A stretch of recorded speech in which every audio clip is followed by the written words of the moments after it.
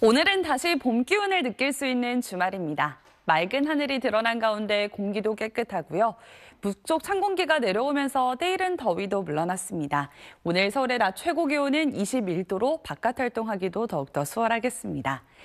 다만 화재 사고를 유의하셔야겠습니다. 서울에 이어서 세종과 대전 그리고 청주에도 건조주의보가 내려졌습니다.